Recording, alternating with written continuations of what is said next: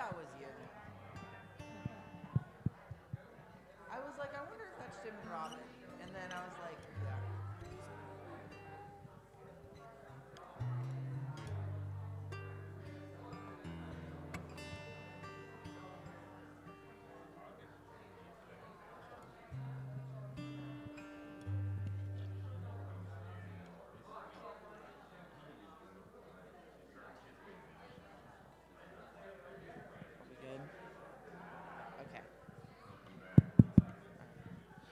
Good morning. Wow, everybody's here. Uh, let's stand and sing our opening chorus.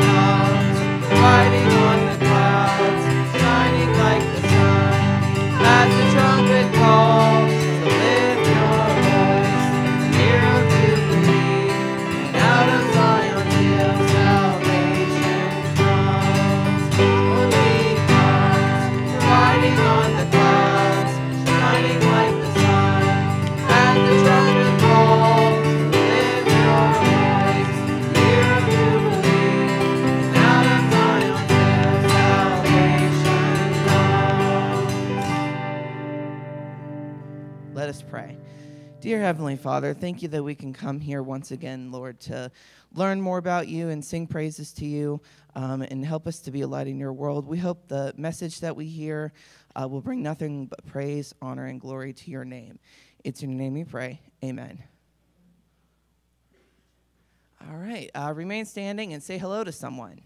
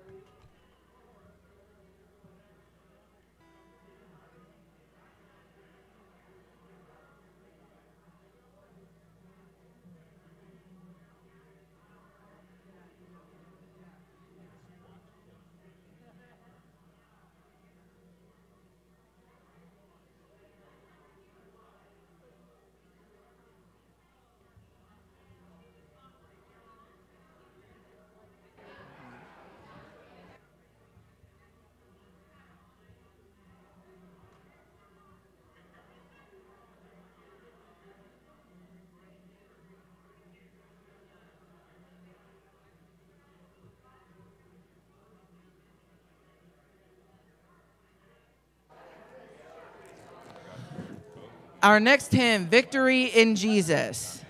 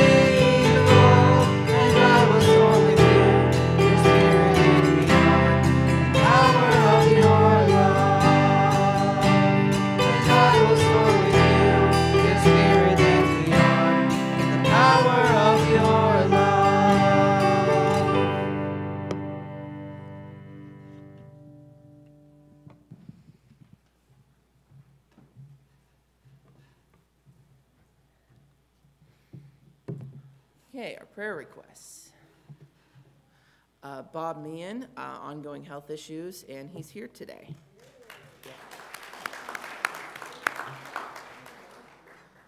Um, uh, Danelle Ancelucci um, works with Kevin, has breast cancer, uh, and she's reviewing her options. Uh, Sally Geary, a PET scan this week, uh, more testing that is needed. She is also here with us. Uh, Aaron Fredericks, uh, Julie Briggs's friend, um, had hysterectomy uh, for uterine cancer, um, starting chemo. Uh, Colleen Scott, friend of Marilyn, um, she had a heart attack.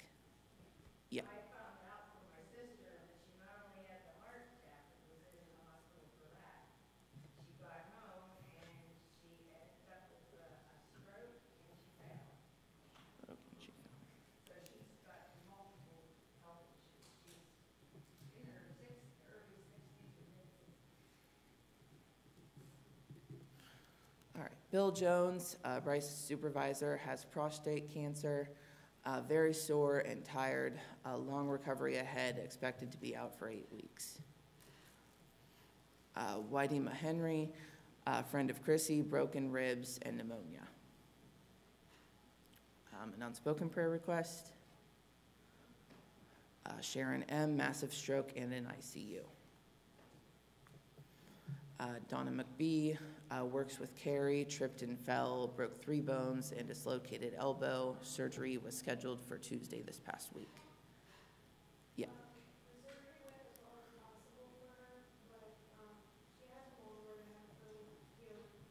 Okay. Okay.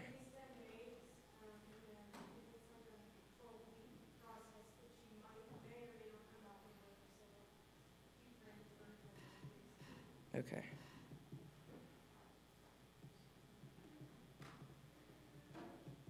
All right. Uh, Jackie Shearer uh, fell at work, broke bones in her right arm, and sprained her le- uh, sprained her left. Also had a concussion June 1st. Uh, Mary Blakely has a punctured bladder, possible surgery.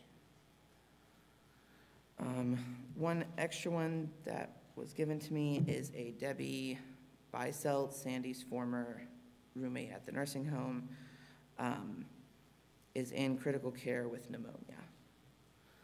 All right. All right, we will take these to the Lord in prayer. Uh, Dear Father, thank you that we can uh, take everything to you in prayer, and we know, Lord, that you are the great physician and you take care of um, each request according to your will. Uh, Lord, again, we see that word cancer, um, and we just pray that you give some doctor the knowledge uh, to put an end to this dreaded disease.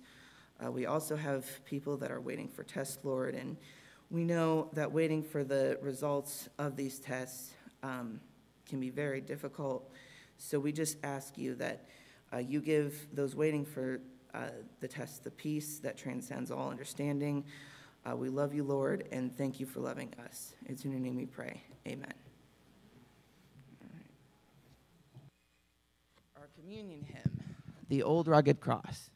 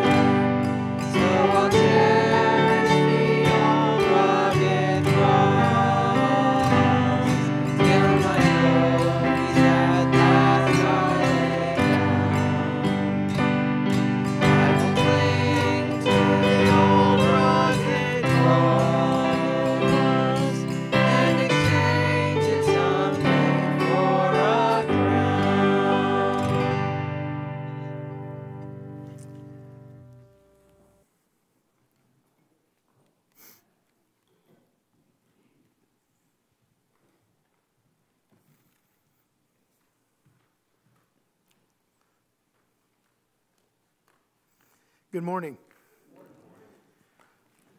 That was the perfect communion song, the great sacrifice that Jesus made for us.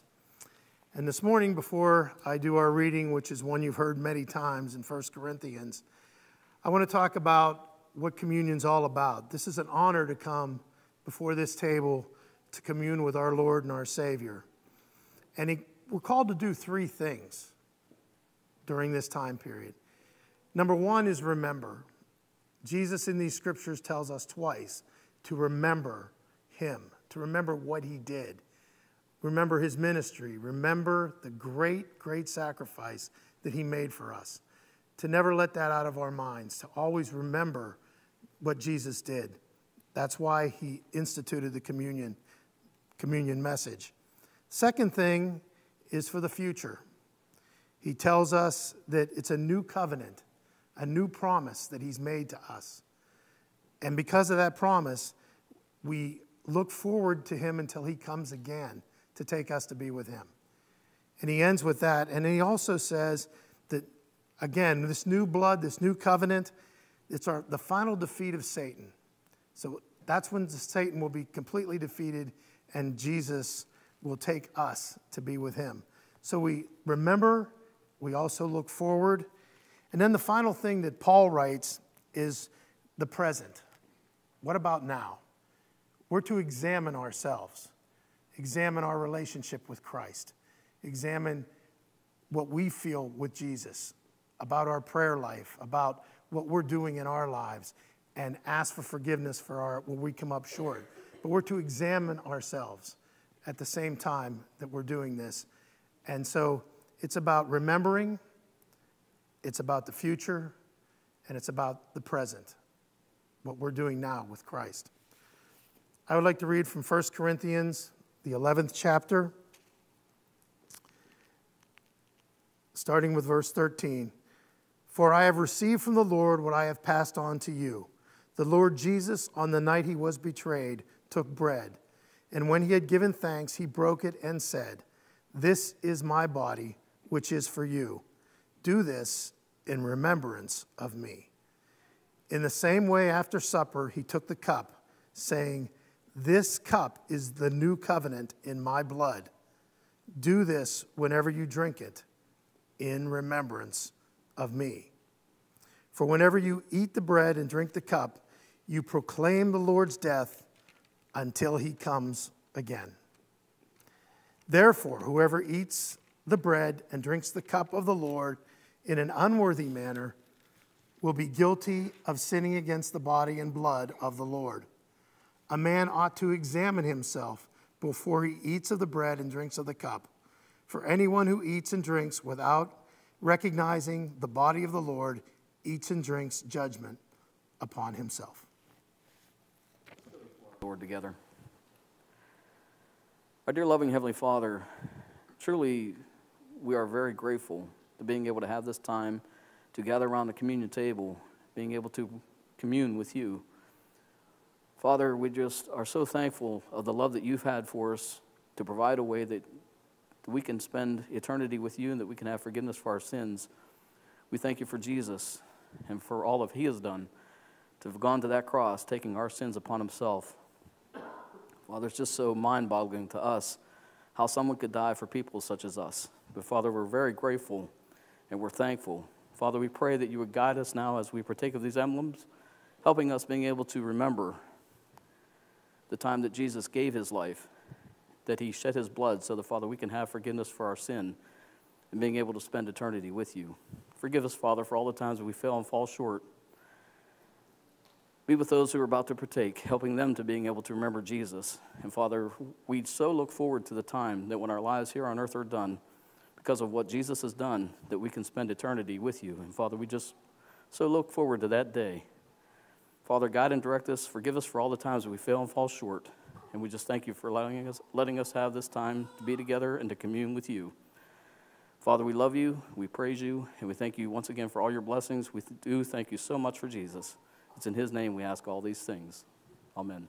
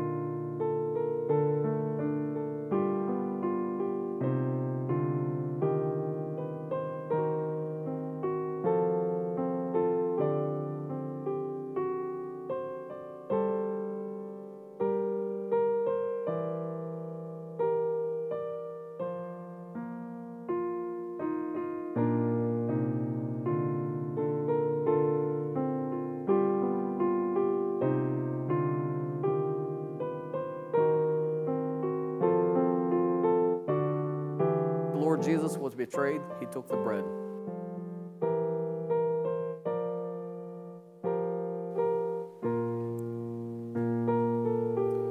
In the same manner, after the supper, he took the cup with the fruit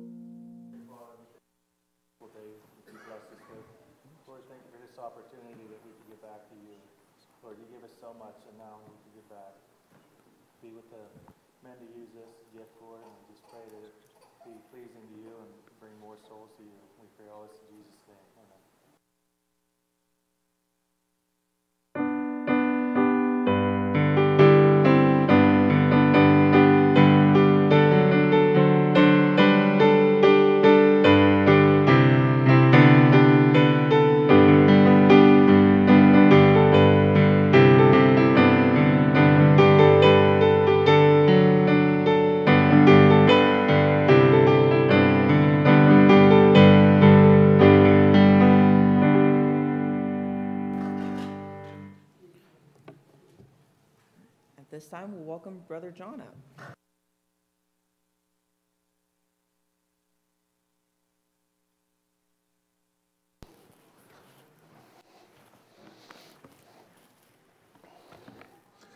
Good morning.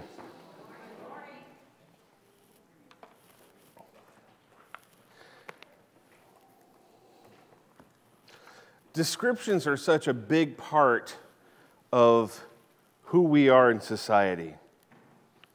Names, words, and such. We, we take names and we identify with names. How many of you like being called mom? Yeah. Or dad? Yeah. Grandma or grandpa? Sure. Why wouldn't we? Some of us have been called other names too, uh, more flattering. Some people, nerds, because you like comic book movies, you know, or, or uh, a fan because of a particular sport that you like or team that you like. And that's not a bad thing. Some have been called ferroequinologists. Do we have any ferroequinologists here? Anyone who knows what that is? Someone who likes trains. Anybody like trains? You're a ferroequinologist. Okay? Some names we identify with, some we don't identify with, but there's more than just one facet to who we are. Some of us are avid moviegoers, some of us are huge sports fans, some of us love working outside in the dirt with flowers and groundskeeping. Some, some of us have all sorts of different interests that describe who we are. When we meet somebody for the very first time, what's one of the questions that we ask each other? What is it that you do for a living, right? And what are some of the responses that we give them? What responses do you give? You can say it out loud. What, what do you do for a living? Nothing. I don't know if you want that as your label. How many school teachers have we had? Okay. What other vocations have you had? Or do you currently have? What's that? Nurse's aid.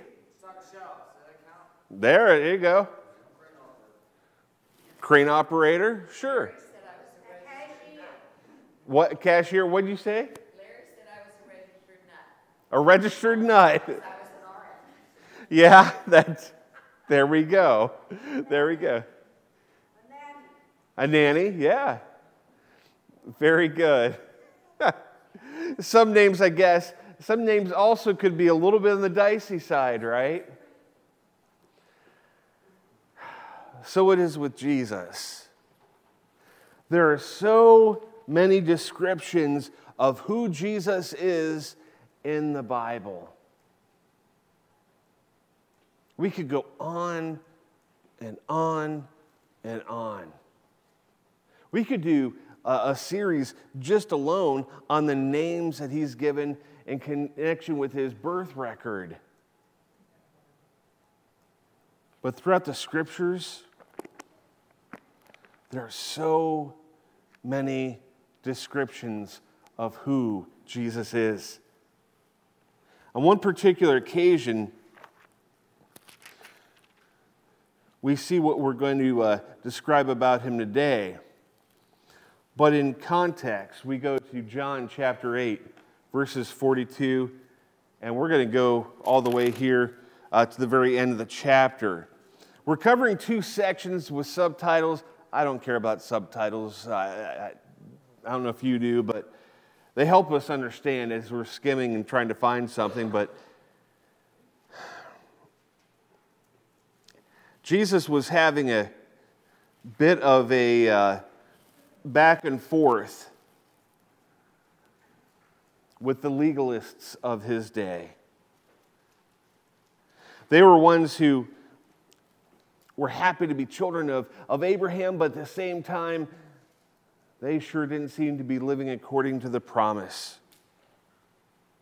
They were people who considered themselves Jews, but they were not people of God. Jesus said to them, If God were your father, you would love me. For I came from God and now am here. I've not only come on my own, but He sent me. Why is my language not clear to you? He says, Because you're unable to hear what I say. Why would they be unable to hear what Jesus said? Kind of hard to hear like this. Say something right now. Say something loudly. What time is it? School.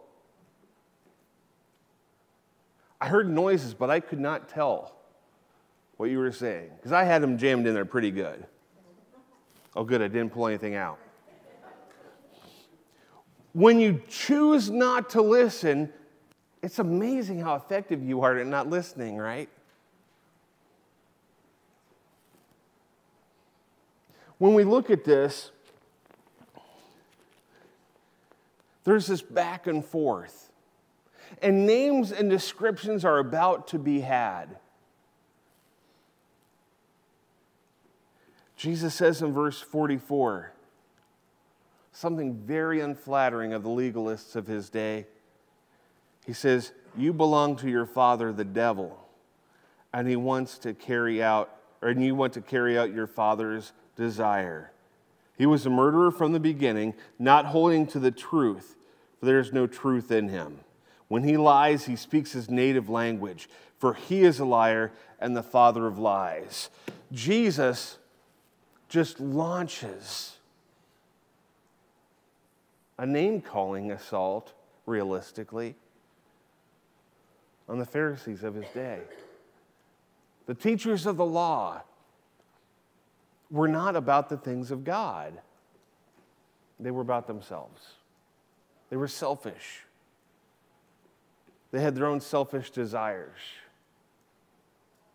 They wanted to be the ones in authority in their own lives, and they wanted to do what got them attention, and they wanted to do what brought them money, and they wanted to do what got them the praise and the position afforded to them by the masses.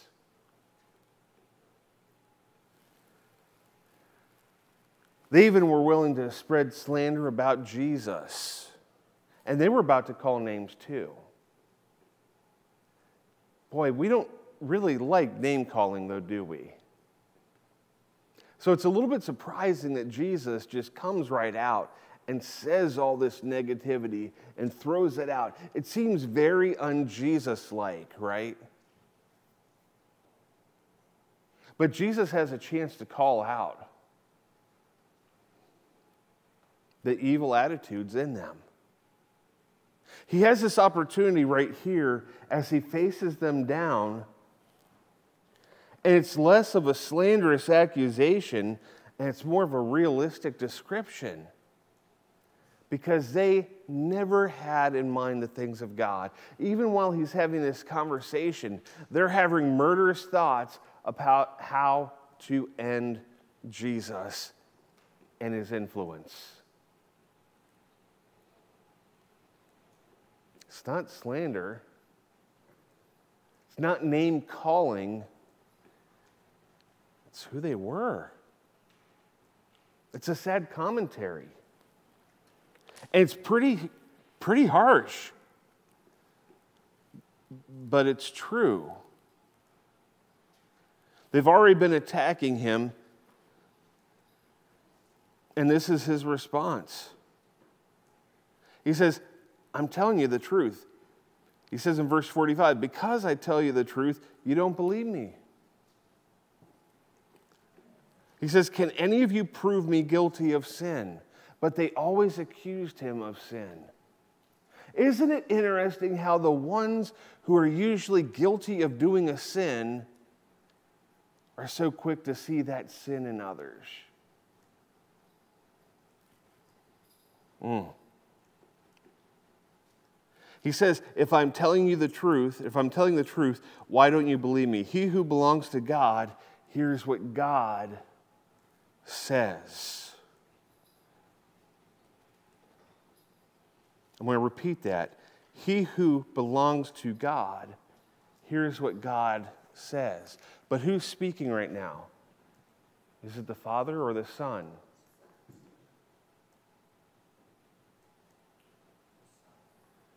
so,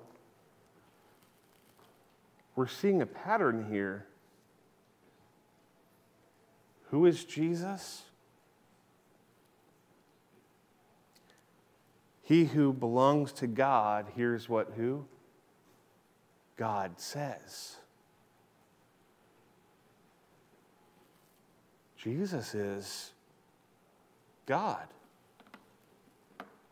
The reason you do not hear what the reason that you do not hear is that you do not belong to God, he tells the legalistic people. They answered him, Aren't we right in saying that you're a Samaritan and demon possessed? okay, now how could they think that he was a Samaritan? Let's, first of all, let's take care of that matter right there. Why would they think that he was a Samaritan? Any Sunday school teachers putting two and two together? What town did they consider him from? Not the birthplace, but the other place. Jesus of Nazareth. That's up. If you're dividing the kingdoms, the kingdom of Israel territory, which also exiled, and then there was intermarriage, and that became the area of Samaria. So Jesus of Nazareth came from the area that was very Samaritan based, demographically speaking. But where was Jesus from? He, where was he born, first of all? Bethlehem, okay. So we go back to Bethlehem. They escaped and went to Egypt and then they went to Nazareth.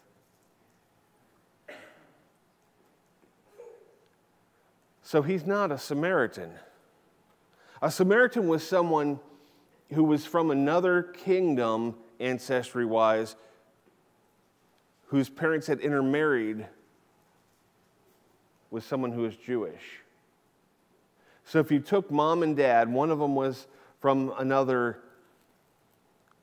area, and had intermarried with someone who was Jewish, you have a Samaritan. especially in the area of Samaria. Was Mary non Jewish or Jewish? Okay. Joseph, from a legal perspective, was he Jewish or non Jewish? So he wasn't a Samaritan, was he? But they wanted to actually label him like that so that the masses would look at him in a very negative light. They were, in fact, being racist at that time. And slanderous, too, because they were saying that he was what? Not only a Samaritan, what's it say in chapter 8, verse 48? Samaritan and demon possessed. Yeah. They literally were calling him as vile a things as they could. You know, sometimes labels are very, very good. They're good descriptions of who we are. And sometimes labels just aren't accurate. They're a desperate attempt to smear someone. Hopefully, you're not smearing anybody. Hopefully, you're not getting smeared either. But many times, people get accused of stuff. Right here, they're calling Jesus a Samaritan. And I threw out the racist term earlier, just a moment ago.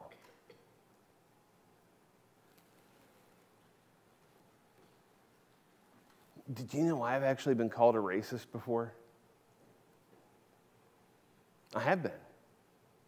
I was called a racist, sexist, homophobe. Did you know that? Kevin's back there thinking, oh man, I can't believe we hired this guy. no, it's true. And do you know what my offense was? This is, this is a terrible thing that I did. I didn't like the eighth Star Wars movie.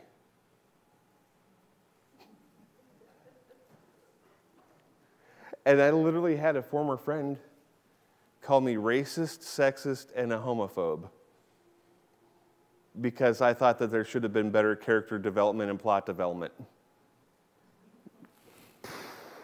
Some labels stick, and some are desperate attempts to smear you. Some labels are accurate, and some are just stupid. Not only was Jesus not a Samaritan, he definitely was not demon possessed. There are some descriptions of Jesus that are very accurate,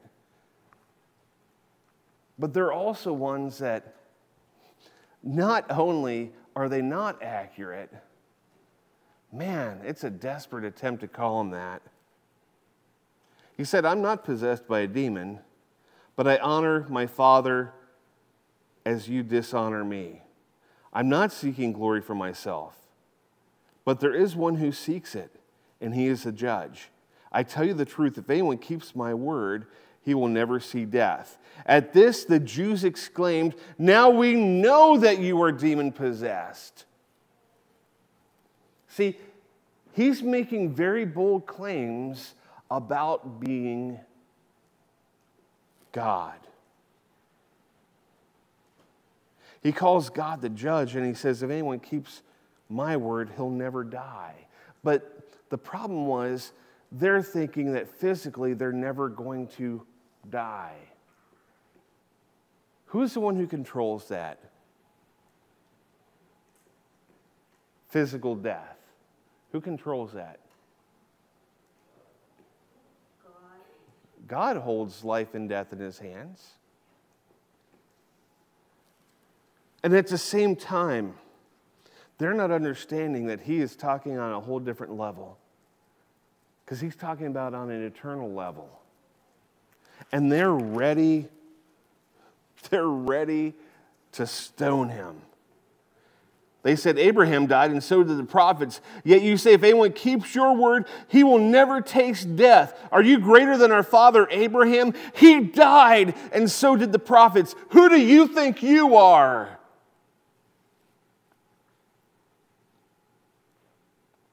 He goes on and he talks about you know, him trying to glorify himself.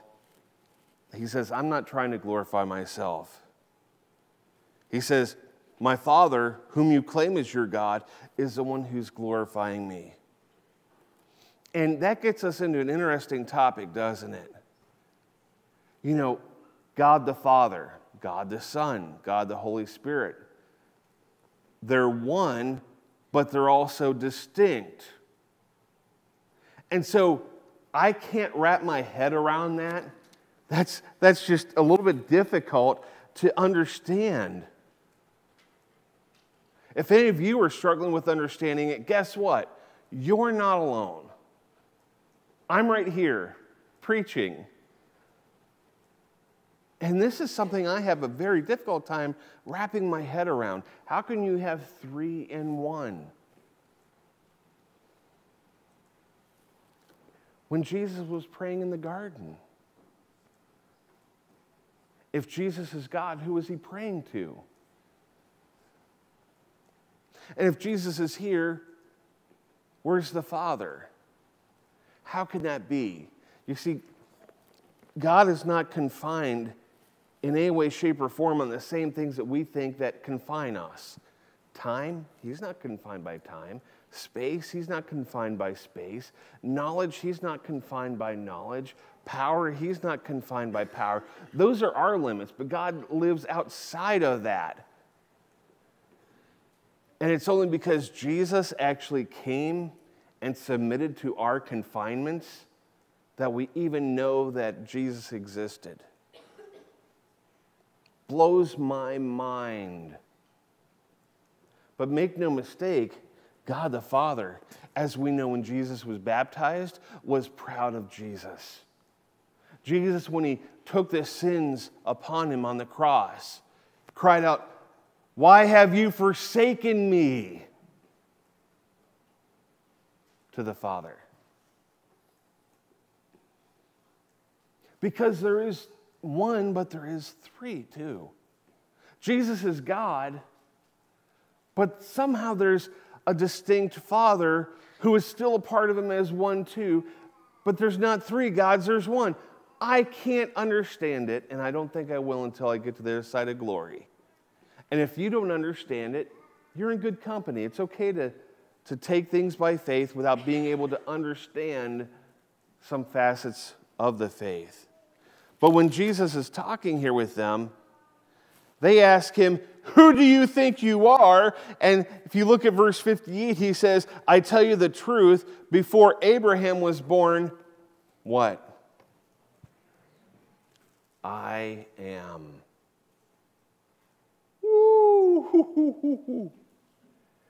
What's that a reference to? When Moses was up on Sinai and God had called him to rescue the Israelites, and he asked God, if they ask, Who sent me?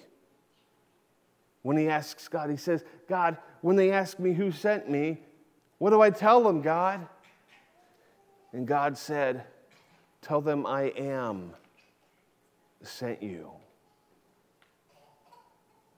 All of the miracles, all of the history of Israel, as they were rescued and redeemed out of Egypt, as they were sent on to the promised land, miracle after miracle after miracle after miracle after miracle was done by the Lord God.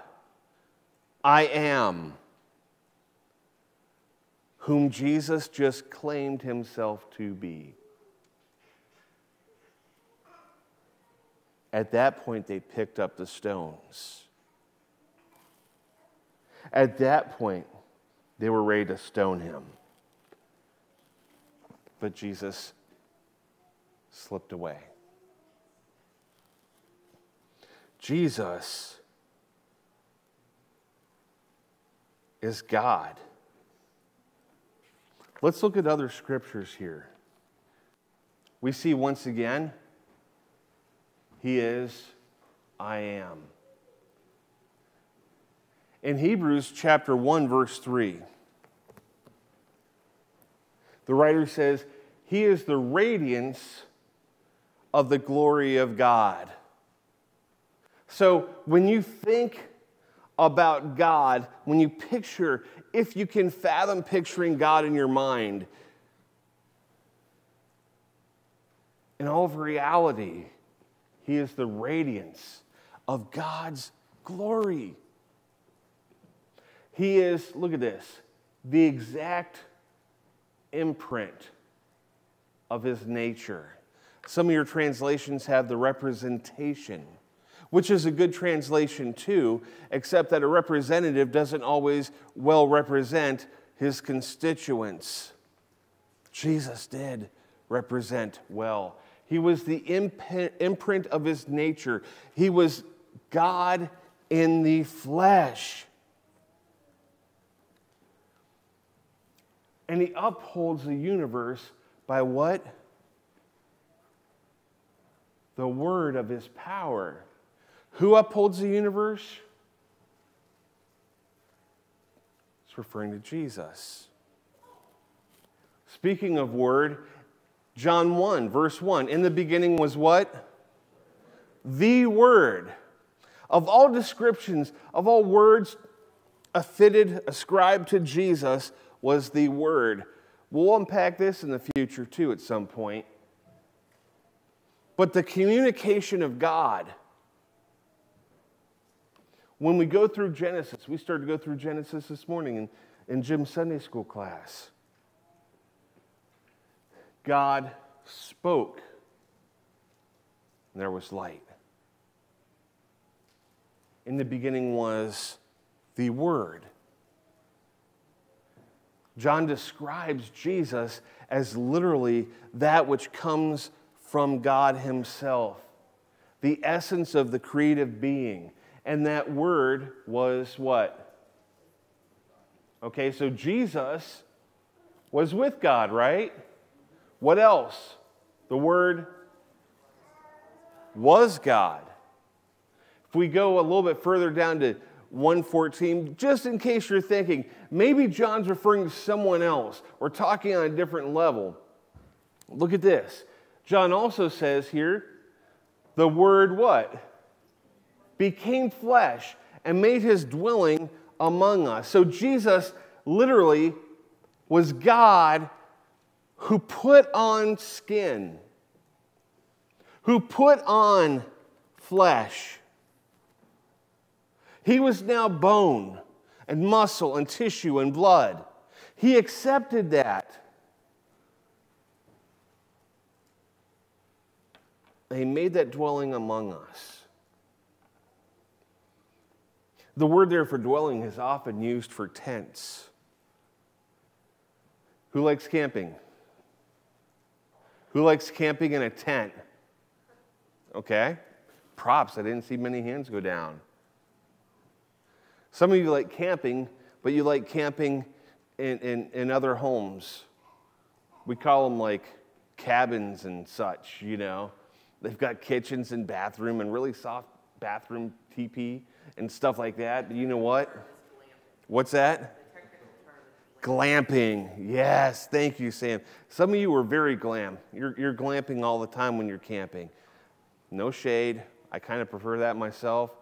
Last tent I had had about three inches of water in after rainstorm.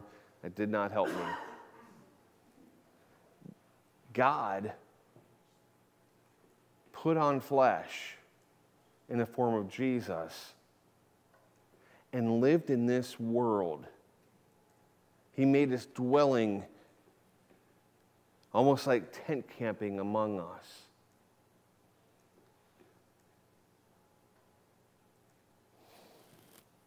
So much more I could unpack on that, but I'm going to have to wait. We have seen his glory, the glory of the one and only who came from the Father, full of grace and truth. And there we have another verse that shows us some indication God and the Father are one. Because the Word became flesh, He made his dwelling among us. So God came and put on skin, but yet he came from the Father. There's two in one. We know there's three in one. But that's why Paul said in Philippians chapter 2, verses 5 through 7, your attitude should be the same as that of Christ Jesus, who being in the very nature God, his nature is God, did not consider equality with God something to be grasped. So think about this. A lot of people grasp for power, position. They want to climb up in life, not go down. Jesus, in his very nature, was God. And he decided, you know what, I'm not going to cling to that. But he made himself what? Nothing. Right there. And he took on the very nature of a servant, being made in human likeness. Jesus, our God, went to all extents of humiliation and being lowered as far as possible so that he could be with us.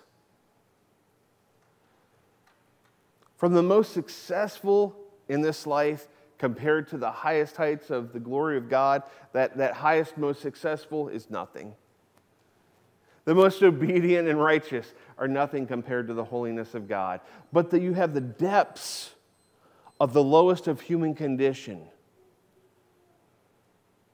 the impoverished,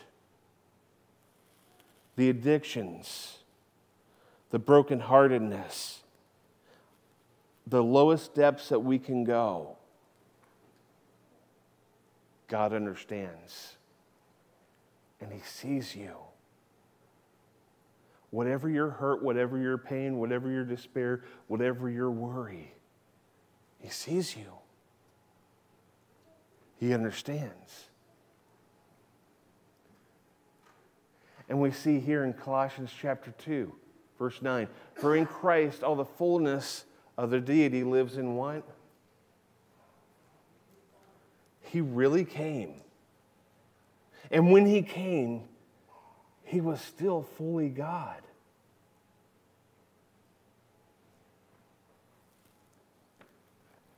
He is Jesus. Peter says this in testimony to him. As he's getting ready to write Second Peter, he's writing to, to uh, just a generic set of people, whoever receives it, whatever letters got passed around, he's writing to Christians. He says, To those who, through the righteousness of, how does he describe Jesus here?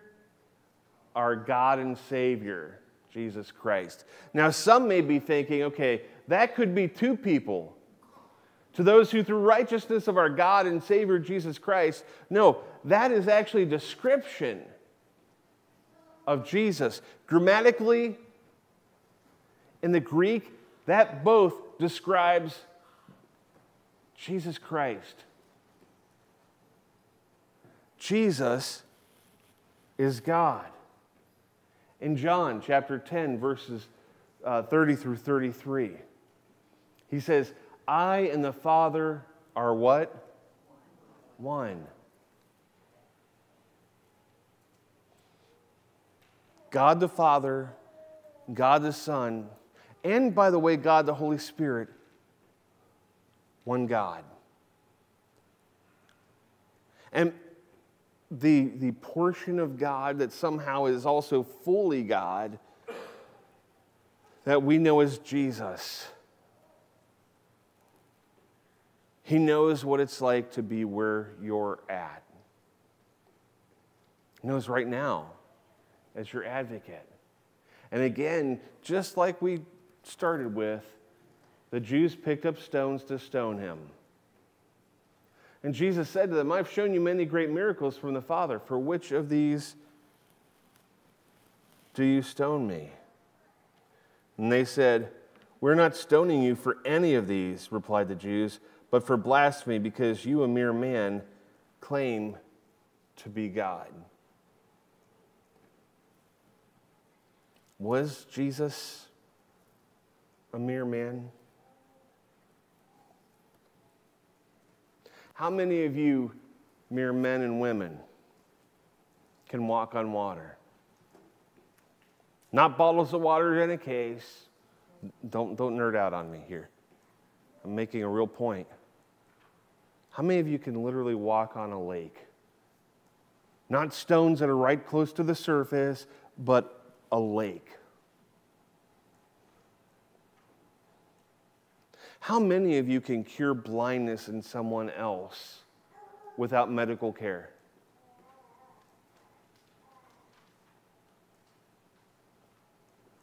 How many of you can cure a paraplegic?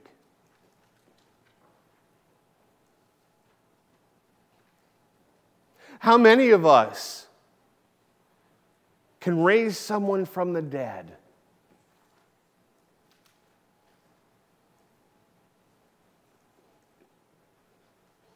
How many of us can multiply food so that everybody that we see that we're able to actually care for can be fed?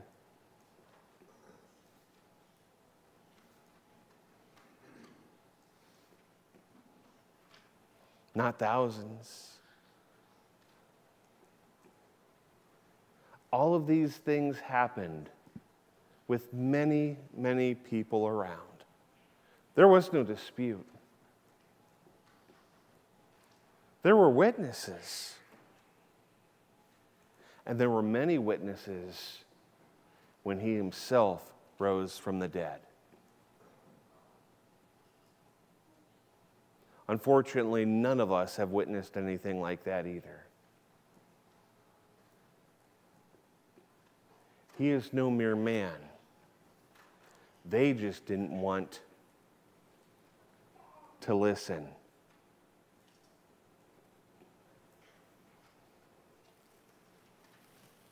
You see, when you admit that Jesus is who he says he is, you have to yield to the fact that he is God and also that you are not. You're not in control. You're not in charge of your life. You don't determine what's right and wrong. You don't determine what's good and what's evil in your life. What you do when you like to do stuff, but God says it's sin, if you admit there's no God, if you say, I don't think there's a God, then it means you're free to do that stuff, right?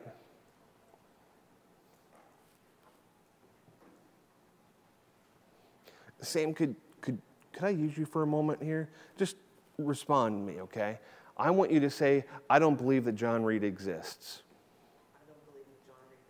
I'm still here. Even if you don't believe that God exists, that, that doesn't mean that He doesn't exist. Right? I'm still here. If you don't believe that Jesus is the Lord, the God of the universe,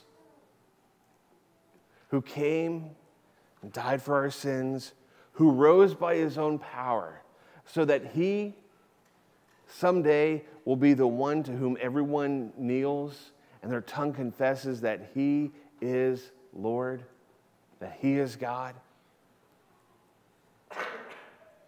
If you don't kneel and don't confess now, you will one day because not believing and just throwing a fit, a temper tantrum, because you want to do your own thing or you didn't get an answered prayer the way that you wanted to, even if it was a very serious issue. Your lack of belief does not cause someone to cease to exist. I'm still here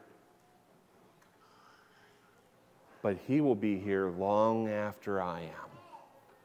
He is the Lord, he is God. So we have two options.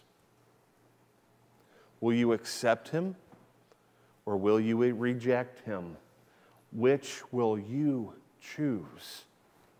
I say that to a bunch of people who are at church here now, and I don't know if any have not yet accepted him as their personal Lord and Savior.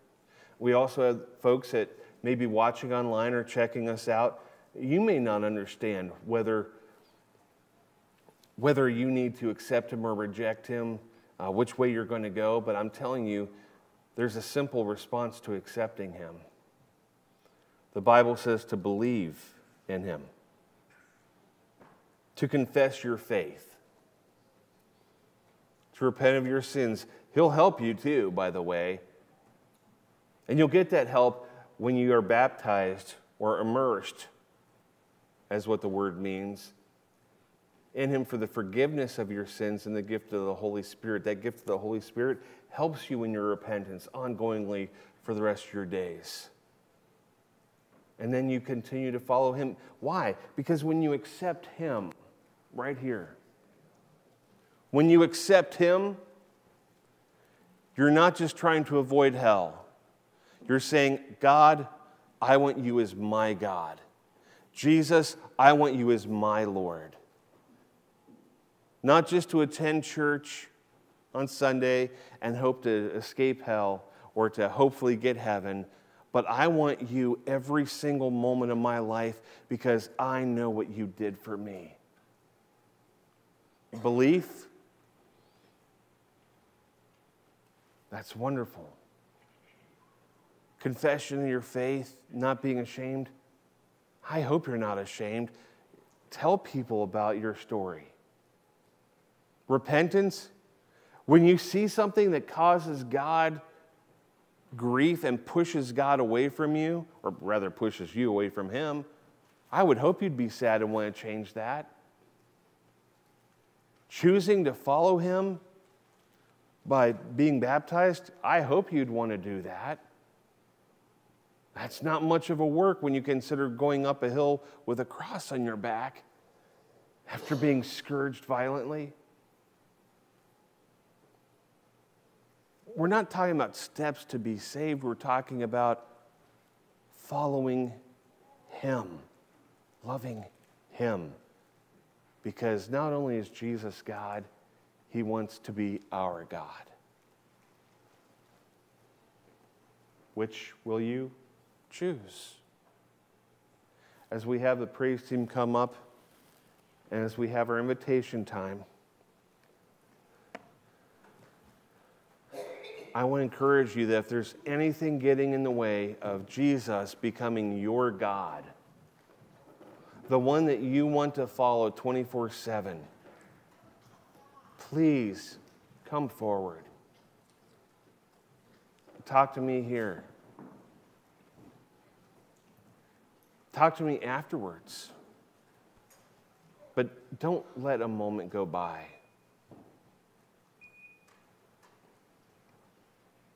Let's stand as we have our invitation song.